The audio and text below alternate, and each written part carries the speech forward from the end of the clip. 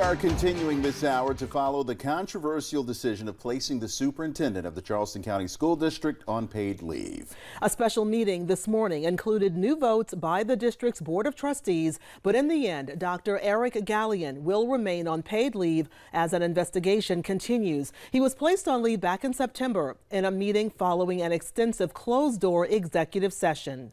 Emily Johnson joins us live from where that meeting was held this morning to give us a full recap about the turnout. Even at 8 o'clock in the morning, lots of people were there and decisions were made. Emily. Yes, Raffle, like you mentioned, dozens of community members and local leaders showed up to this morning's meeting at 8 o'clock a.m., shouting questions to the board as they debated this decision. But nothing changed from the decision that they made at last a few weeks ago's meeting. The board voted once again to put the superintendent on paid leave with a 5 to 4 vote, with the decision passing on Moms for Liberty backed board members' votes. Four members of the board also asked for the decision to be tabled until a member of the HR department could respond to specific questions, but the motion was denied. Main concerns expressed by board members Darlene Robertson, Courtney Waters, and Dr. Carol Temple included why HR cannot conduct the internal investigation instead of taxpayers' dollars paying for an external investigation. Others also questioned when while Gallien is on paid leave, why he cannot work instead of sitting at home and why he cannot be on school property.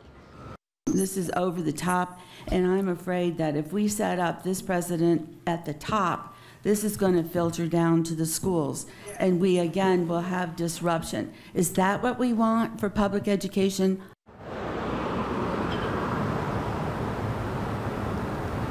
Of the many expressed concerns and Therefore, the paid leave is to protect both Dr. Gallien, the employees, and the uh, authenticity and, and uh, best outcome of the investigation so that it can be uncover the truth. Community members will be discussing this board's actions this morning tonight at Mother Emanuel Church at 7 o'clock. In reporting live in Charleston, Emily Johnson, Live 5 News. All right, Emily, thank you. Now, in response to CCSD's meeting on September 25th, when Gallien was placed on paid leave, State Representative Marvin Pendarvis requested the Attorney General give an official opinion on that situation. Attorney General Alan Wilson said in response, quote, our opinions have long concluded that announcement of an executive session through generalized purpose, such as personnel matters or employment matters, are not in compliance with FOIA. The request for an investigation from the AG's office and Governor Henry McMaster has been called on now by multiple state lawmakers and local leaders. The governor needs to step in. He needs to step in because this is surely out of control. I witnessed this with many others in here today.